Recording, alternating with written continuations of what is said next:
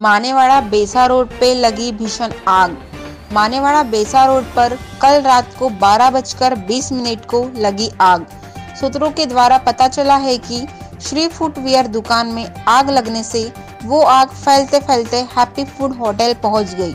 उसी के कारण दोनों दुकानों में भारी तरह से नुकसान हुआ है, लेकिन कोई जीवित हानि नहीं हुई। अग्निशामक के गाड़ियों को बुलाकर आग को काबू में किया गया। हमारे प्रतिनिधि Jagdish Patil B N A twenty four news Manewada Nagpur Maharashtra